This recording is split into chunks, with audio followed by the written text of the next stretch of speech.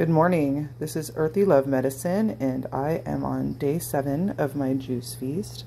Um, I've been recording my videos in the evening time just to show everybody like how I've been feeling at the end of the day, but I'm going to show you this morning because I'm making my juice, and I kind of just wanted to include you in that. So I'm going to finish prepping everything, and I'll be right back. Now we're prepped and ready to go. We're going to fill up this machine here. Let's get this open. I guess I should have this part ready if I'm prepped and ready to go, right? So these are Power Greens. I buy these at Costco.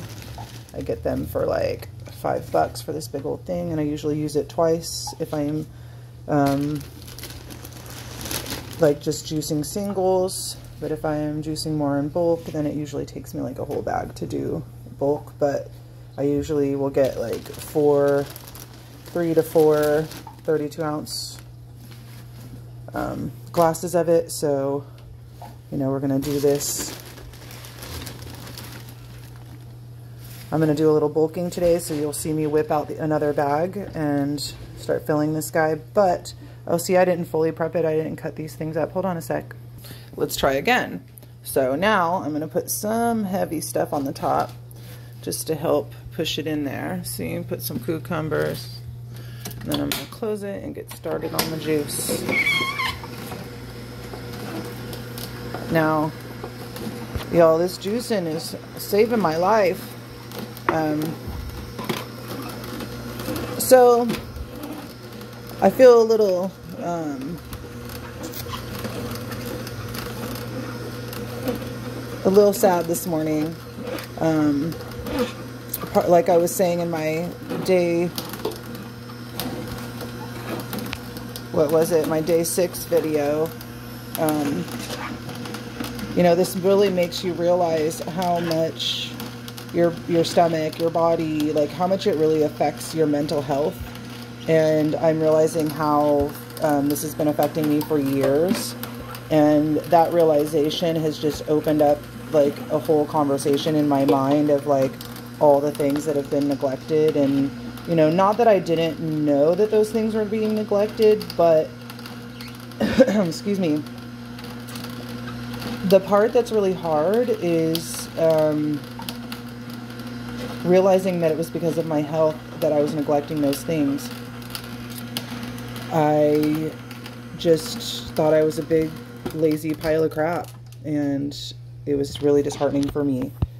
Um, and I really struggled with self-hatred and shame from not um, doing a lot of the stuff that I needed to do. Now, you know, I built a business in the last couple years and I had to pull back on that business. So, yes, I was doing stuff, but there's so many things, especially like just normal self care and um, my home, you know, keeping my home clean and then letting it get ridiculous and then keeping it clean and then letting it get ridiculous. And it's like, um, you know, I have shame around those things. I was raised to always keep a really nice house and to be clean and you know, I just I was raised a certain way and so I've I you know, some most of that was right to be honest. You know, keeping my house clean and um, is definitely a mental health issue for me and I look around me and I've been looking around me and I can see how unorganized and how sporadic everything is and how you know, I have areas that are clean and areas that are disorganized. So, I mean, it literally reminds me of my current mental and emotional state. Is that some places I feel okay inside, and then other places just feel chaotic and feel messy. And um, going through this process of being aware of myself and being aware of my own needs um, is definitely. Uh, bringing up a lot of emotion around the areas where I am kind of a mess and, you know, things are not the way that I want them to be. So I'm struggling here. I know I'm not saying anything really quickly. I'm really in like an internal state, so it's difficult to verbalize the stuff that I have going on in my mind and in my heart it's like I'm coming from a place of not beating myself up anymore because I've, you know, I've been beating myself up forever. I'm pretty much like done with that part. Um, this is more about personal accountability and acknowledging that part of taking my health back is like, you know, not part of taking my health back is like taking my life back because I have felt like a stranger in my own life for a long time now. And I've wanted things to be a certain way as far as like, okay, so what I mean by be a certain way is I want to be organized and have a schedule and, you know, and I've haven't always been the most organized and the most scheduled person, but in the past I was a lot, lot better than I am right now. And I have felt lost in my life, not knowing what I'm doing. You know, I started a business and then realized like I started to achieve things that meant something to me. And I started to realize once I started to achieve things and feel successful that I still felt really empty and none of it was very fulfilling. And it just it became a life that I didn't want because now I had all I had more responsibilities and more things that were you know calling me to um, do you know that that were on my plate basically. And I uh, I was crumbling because as a person I just didn't feel whole in any of that. So I uh, I pulled back on the business that I had started and I dropped some of my properties and I've been focusing on myself pretty much for like like 10 months now. About seven mm, nine or 10 months now.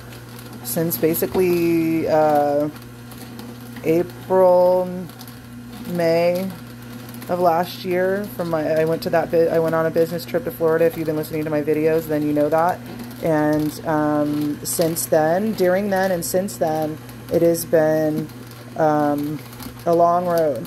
And I've cried a lot and I've been angry a lot and um, I've cycled through a lot of emotions and um, I'm very grateful, very, very grateful for the fact that I'm going to open up another bag here and add some more. Hold on a second. Okay, got some more. So I'm really grateful that I've had the space. And, you know, me and my husband, we have been going through it. Our relationship has just been turmoil for so long now. And we're finally pulling out of that, which is wonderful. And I'm very happy about um, because the stress of us not doing well was really taking a toll on me because I was really in a place of trying to fix myself and work on myself. And you know, our relationship problems actually were a catalyst for me to see where I'm, you know, I'm unhappy and where I'm not doing well. And I think I was just kind of sleepwalking through life, telling myself that I'm doing great, I'm doing fine, everything's okay. And oh, for a second, I thought that I stopped the video.